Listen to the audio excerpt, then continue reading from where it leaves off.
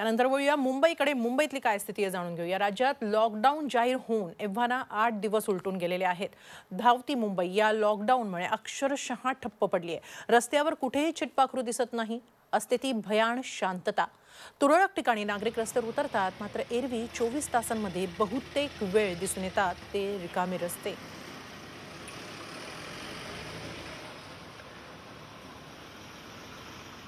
आठ दिवसानंतर मुंबई कशी आहे जाणून घेऊया आमचे प्रतिनिधी अमित जोशी यांच्याकडून.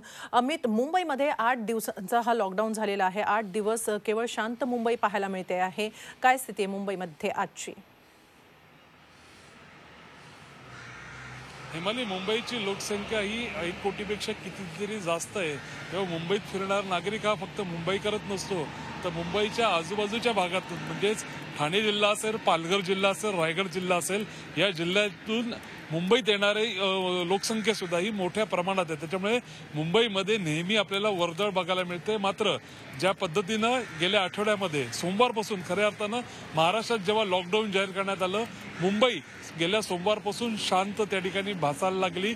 जी वर्दळ असेल रस्त्यावरची वाहनांची असेल लोकांची असेल ती अजिबात त्या ठिकाणी दिसत नव्हती. आणि त्या पाठोपाठ महाराष्ट्राचा निर्णय जाहीर झाल्यावर भारतामध्ये किंवा पंतप्रधान मोदी यांनी संपूर्ण देशामध्ये लॉकडाऊन त्या ठिकाणी जाहीर झालं. त्याच्यामुळे गेल्या आठवड्याभरापासून मुंबई ही निर्मनुष्य दिसायला लागले.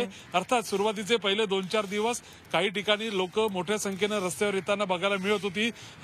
पोलीस त्यांना अटकाव करत होते. मात्र आता मुंबईकर किंवा मुंबई परिसरातील लोक या लॉकडाऊनला आता सरसावलेत. असं म्हटलं तर चुकीचं होणार नाही. अगदी थोडक्यात सांगायचं झालं तर मी आता गेटवे ऑफ इंडियाच्या परिसरामध्ये या ठिकाणी उभा आहे. माझ्या मागे आपण बघू शकता की लॉकडाऊनच्या पार्श्वभूमीवर पोलीस बंदोबस्त आहे. वाहनांची वर्द अजिबात या ठिकाणी दिसत नाहीत फक्त अत्यावश्यक सेवेशी संबंधित वाहनच या ठिकाणी रस्त्यावर दिसतात. थोडक्यात मुंबई असेल मुंबई परिसर असेल लॉकडाऊनला इकडचे नागरिक सरसावलेत. असंच म्हणावं लागेल. बघूया आता चौदा एप्रिल पर्यंत कशा पद्धतीनं नागरिक हे प्रशासनाला सहकार्य करतात आणि चौदा एप्रिल नंतर. अर्थातच काही वेगळा निर्णय त्या ठिकाणी जाहीर होत होते.